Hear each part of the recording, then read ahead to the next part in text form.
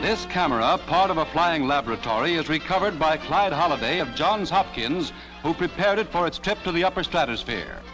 Rivaling the fantastic imagination of Jules Verne, the camera brought back a record of a flight into the heavens of a captured German V-2 rocket. At White Sands, New Mexico, the huge missile takes off.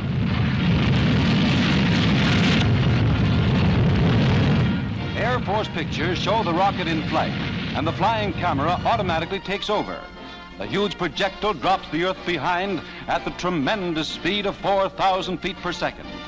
The rotation of the rocket causes the planet to spin before the lens, and the camera photographs the Earth 65 miles straight down. The horizon, 720 miles away, and the curvature of the Earth are astonishingly apparent in this still picture from the film. An observer in the rocket could have seen San Diego, Salt Lake City, Kansas City, and San Antonio.